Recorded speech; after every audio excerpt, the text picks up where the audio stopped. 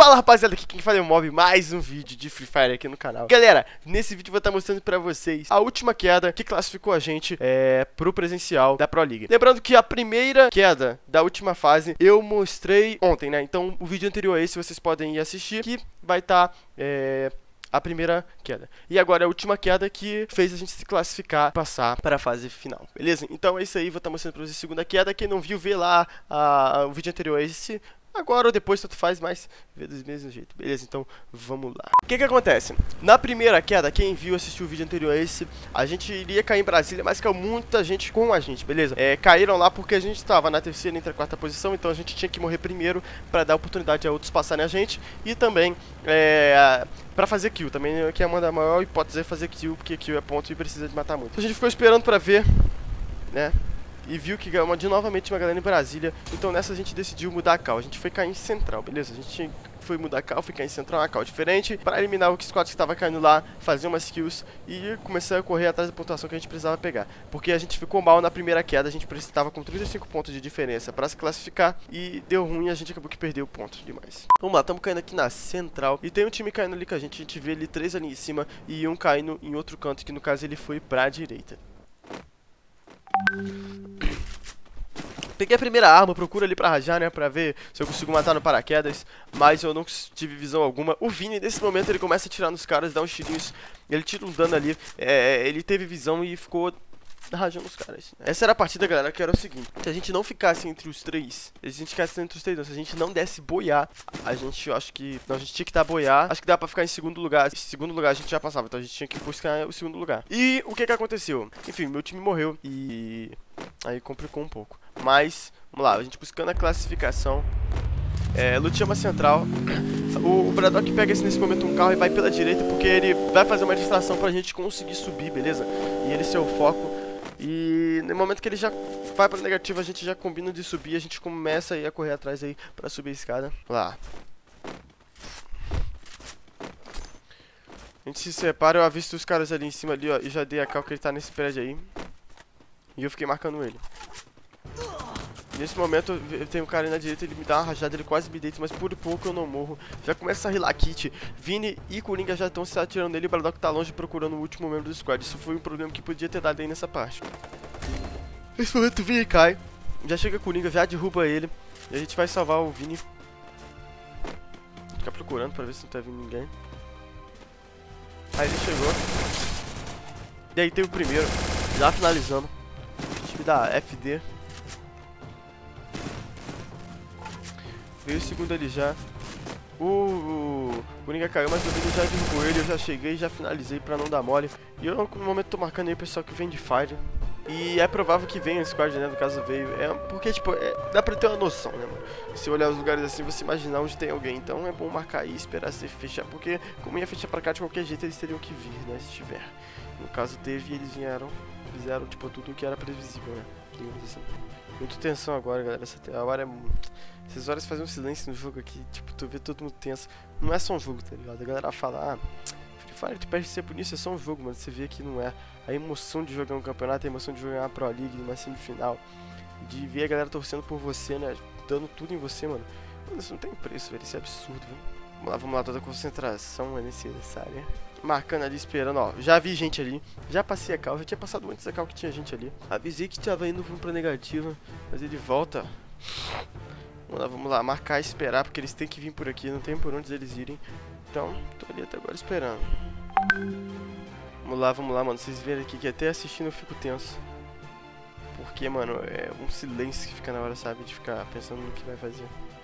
Ó, já avistei, já falei que tá indo pra negativa.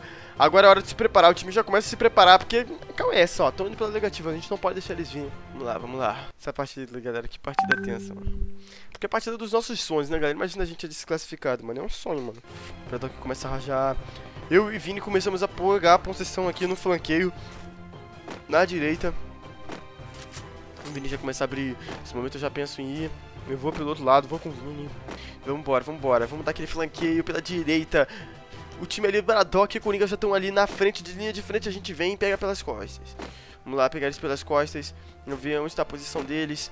A posição de cada um já estão atravessando. Eu resolvo não atirar porque pode alguém perto, mas aí o Vini atira, eu raso junto. O Vini no momento tá ali parado, ali em cima. E o Vini tava parado ali na estrada, deu mole e mataram ele. Mas acontece, às vezes eu esqueço que eu tô sem gelo. E eu vou lá, eu vejo os caras. Eu vi um ali, avistei. Já, porra, já dei, e deitei. Rajou e deitou. Agora finalizar. Já, mob não perdoa. É assim mesmo. Eu tô indo embora nesse momento e eu lembro que o Vini tem loot, então eu volto.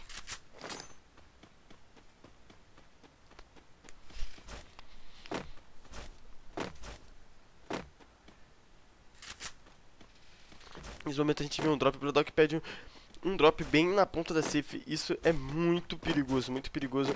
Mas é o certo, né? O certo é você tacar o drop na, no cantinho do mapa. Mas a gente com 3, então isso foi um pouco perigoso. Mas é, ele tava, como ele tava sem loot, foi muito. Teve que ser feito isso, né? Não tinha uma opção. Enfim. Então a gente vai lá, tá com uma posição um pouco denunciada. E vamos aqui pela direita e vamos. Já estamos pensando em como a gente vai pegar a safe, né? A safe fechou bem mal. É. Eu sempre, eu falo, eu começo a falar nesse momento pra galera ficar bem tranquila. Bem tranquila não dá pra ficar, né? Mas ficar mais tranquila, porque tem só 18 vivos. Então, ou seja, é uma chance da gente ganhar, né? Não tá, tipo, impossível. Não tem tantos vivos igual as partidas normais, porque a galera caiu por tudo ou nada. Também indo pegando a safe, a gente já começa a se preocupar, porque, é, na verdade, não tem muito o que fazer. Ali onde a gente tá não tá safe. É, a gente vê que ali em cima do morro tem um drop ali. E ou seja, já possa ser que tenha gente ali. A gente resolve ir por baixo da ponte, tentar pegar a outra parte de baixo. Mas o Braddock bota a cara, tipo, bem rápido. Pra ver se tem alguém. E, tipo, a gente vê que come começa a tomar tiro. Tem cara ali da direita ali, ó. A gente tenta vir por cima, mas não tem como. É, e a gente vai, tenta ir por baixo. Olha só o que que deu, galera. A gente foi por baixo ali, ó, mano. É, pra ver se tinha cara. E o Braddock começou a ser rajado. Então, sem chance de ir por baixo. Até eu tomei tiro. Ali em cima do morro veio o drop, então posso ser que tenha gente. Eu falo pra galera, galera, vamos por aqui mesmo. E que nem aí, mano. Se tiver cara lá, a gente mata. É a única opção. E a gente vai tentar ir por esse lado, né, mano? Vamos lá! É a partida que vai decidir se a Loud vai ou não vai estar presente no presencial, mano. Glória Então vamos lá, o Braddock já tá subindo. Mob vem ali atrás do Braddock. Logo em seguida, nas costas vem o Coringa. E subimos aqui de leve. Mano, nessa hora tinha uns loot da hora aqui, mano. Se eu não me engano. Ó, tinha uns loot, ó. Tá vendo? Vai, vai pegar. E tem cara ali embaixo, nesse momento eu já vou e desço, mano. Quero nem saber, já vou descer ali pra pegar um cover. Começa a tomar tiro ali de baixo, já avisa a galera que não tem pra onde a gente ir, porque tem cara na casa de madeira, tem cara na esquerda e a gente não tá safe, mano. A gente ficou na total galinha aí. Vamos lá. Já fiz o gelo aqui, já chamei o Coringa pro meu cover, o Braddock caiu ali, mano. Mano, nessa hora vocês não sabem como eu fiquei tenso. Lá eu vou, tá com o primeiro gelo. Eles continuam rajando meu gelo, esqueceram de mim. Depois vejam que eu passei. Eu tá com outro gelo. Já faço a fogueira ali. Rilo um pouquinho, porque eles estão estourando meu gelo. E pego a árvore. É... O que eu fiz aí foi muito bom, mano. Eu consegui, tipo, meio que enganar os caras como se eu tivesse atrás do gelo e me girar minha vida com fogueira. Ali vocês viram, eles rajaram meu gelo ali, viram que não tinha mais ninguém, achou que eu tinha morrido, provavelmente. É, então meio que deu uma enganada neles e fez, com isso fez eles me esquecerem e me deixar ali. É, essa hora eu confesso que eu tava muito tenso, porque, tipo assim, é muito tempo que eu não jogava campeonato e sabe o que é ter uma, uma responsabilidade nas suas costas? Foi essa parte, foi a responsabilidade que eu tive nas minhas costas. Porque, mano, eu sabia ali que é, a gente tava na posição ruim, nessa partida era a partida decisiva. Então se eu morresse ali agora, eu não ia ter mais o que eu fazia, mano, sabe? Eu, eu tinha enganado os caras, mas eu ainda tava na dúvida se eles tinham me visto ou não. Nesse momento eu resolvo ir pelo gás mesmo pegar assim e falar, ah, vou morrer, mano. Ninguém tava acreditando, mano. Todo mundo tava muito em silêncio. E nessa parte eu pego a água aqui, mano. Quando eu começo a passar, a galera vê que não me a galera começa a gritar, a comemorar e começa a, a sentir uma esperança pra ser eliminada. Menos um time. Vamos lá. Pegar o cover da árvore ali em cima. Já consigo chegar aqui na árvore, ó. Mas tem gente ali em cima. Eu decido é, pegar a arma e tiro também a faca das costas porque tá aparecendo na árvore pra, tipo, não ter risco de chamar atenção. Mas já tinham me visto, né? Então eu tomo uns tirinhos. Não tem muito o que eu fazer nessa parte, né? Eu já tô bem mirado. E eu fiquei nesse momento tomando tiro dos dois lugares, né, galera? Nesse momento, então, como eu falei pra vocês, tava muito difícil ali, né? Eu tava muito preocupado. É, não sabia qual posição a gente tava ainda, mas é, começaram a mirar em mim, né, mano? Começaram a mirar em mim. E eu ainda consegui, galera, eu consegui segurar essa partida até terceiro, né? Eu fiquei em terceiro. Se eu tivesse morrido ali junto com meus amigos, a gente tinha ficado em sexto. Consegui segurar até terceiro. E mesmo assim, a gente ainda não sabia se tinha passado, então ficou naquela dúvida. O pessoal ficou chateado, é, achou que não tinha passado. Mas no final, quando a gente recebeu a tabela, a gente viu que a gente tinha passado. E, meu Deus, mano, não tem como expressar minha felicidade, mano. Ligado? Não tem como expressar minha felicidade. É essa hora aí. Vai fechar aí agora. E eu vou. E morro. É, não teve o que eu fazer. Mas ficamos em terceiro e passamos, então Loud classificado. Vocês não sabem como eu vibrei, mano. Vocês não têm ideia de como eu, eu vibrei nisso. Eu vibrei demais, mano. Uma felicidade imensa ter ganhado. Fui ver rápido quando com a posição que a gente tinha ficado. E a gente ficou em terceiro, né? Então a gente ganhou beleza? Deu boiar. É, queria agradecer muito ao meu time, meu time jogou demais, mano, jogou demais. É, a galera ficou falando pra aumentar meu salário, isso, aquilo, porque essa partida eu segurei, mas galera, isso era o mínimo que eu podia ter feito, porque eu tava vindo de umas partidas que eu tava jogando mal, né, tava em má fase, a galera tava me criticando bastante, mas enfim, isso era o mínimo que eu podia ter feito pra Loud. Então, Loud se classificou. Muito obrigado aí a todo mundo que apoia a gente, faz olho nas redes sociais, agora é presencial, agora eu jogar a final e representar o Brasil nos campeonatos na Pro League, beleza? Então é isso aí, tamo junto, não esquece de deixar aquele like, se inscrever no canal, e é isso aí, é nóis, e até o próximo vídeo. Menos de 20 quilos na squad nunca pode, pode, pode, pode, claro que não pode, a 4x é minha, eu não Red Dot, todo mundo sabe que é Kawa com o Braddock, e ele já avisou que é pra cair, Boschinock, bora, bora,